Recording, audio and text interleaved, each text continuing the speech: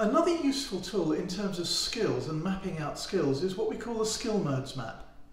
This is a very simple two-axis framework, historically actually derived from the work of Carl Jung, but it's we often describe it as the swamp metaphor because it's about we need different ways of working, ways of thinking, different ways of interacting at different stages in, in any kind of work. As we'll see, it's not about individual people and the mode that each person belongs in, though it's often we will need the different modes across a team. But it's also, people have a particular orientation, yes, but we've got to be able to handle all four modes in order to do the work. Now, it's called the swamp metaphor because imagine a swamp. It's not a, a kind of bleak, muddy mess, it's just every possibility is there but if you try to stay too long in one place, in the wrong, in the wrong kind of place, you'll disappear beneath the surface and be gone. So we've got four quite different ways of working, or modes, mindsets, that to work in that space. The first, if you like, is the artist. You run like hell. You run like crazy. You, you never get, you're always getting lots and lots of new experiences. This is where you get new ideas from. But the moment you stop and say, I've found my style, there's a sad little bloop as you disappear beneath the surface. And you also can't really connect ideas together, they're just ideas without any kind of frame. The next one is the, almost the opposite extreme. It's the, the believer. It's about inner truth, about inner absolute certainty. And it fits best with things that are certain. It proceeds not even as if something is true, but it asserts that it is true. We believe completely. And this is what a trainee does, needs to do. They need to actually be able to do this. the next one is, um, sorry, that one sticks a pole in a fixed place.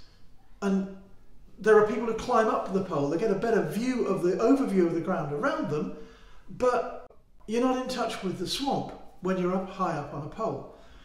Now the next mode is like making a platform. What is the scientist?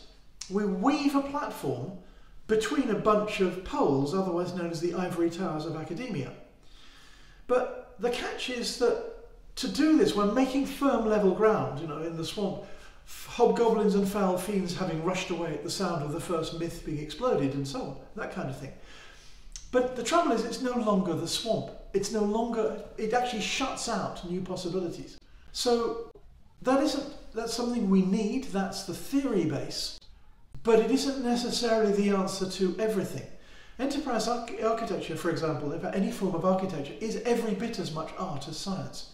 It needs to find the right balance between them dynamically. And we also got a group of people out on the edges of the platform, or even further beyond, who spread their weight on swamp shoes.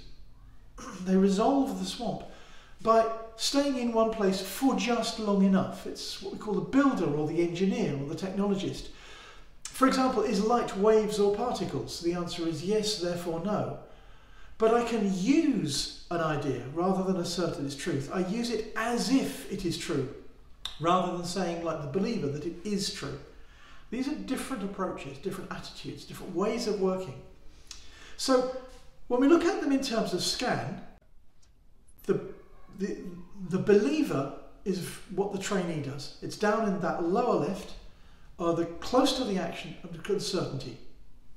You've then got in the in the upper left, still dealing with certainty, you've got the apprentice, who is the, the same as the science, same attitudes as the scientist. The danger is when the science becomes a belief, when we get into scientism, which is not the same thing, where we've made the mistake of shifting, confusing as if for is. Over on the upper right, we have the the, the um, the builder, the engineer, we're solving different problems. We're resolving uniqueness rather than trying to force things to fit. And we've also got the artist creating the new ideas. Now we have to be able to move between each of these dynamically. It's not that one is better than another. It's possibly true that one is better dynamically for one purpose than another, which is an issue we'll come on to on the next video. But Overall, we need all those modes at some point during the development and production of anything in a business. So look at these different modes. The artist, looking at inner value. The believer looking at inner truth, the, the scientist looking at the truth in the outer world, and the builder or engineer looking at outer value, the usefulness of things, rather than arguing about the truth. So it's a useful little model to map out what we need dynamically, which mindsets we need dynamically. Because if we don't get the right one at the right time, that's when things start to go wrong. And we'll look at that in the next video. Thanks for watching. Do look at the YouTube description for links to further detail. And don't forget to subscribe for other videos and also to support us on Patreon to help us produce these videos and the tools themselves.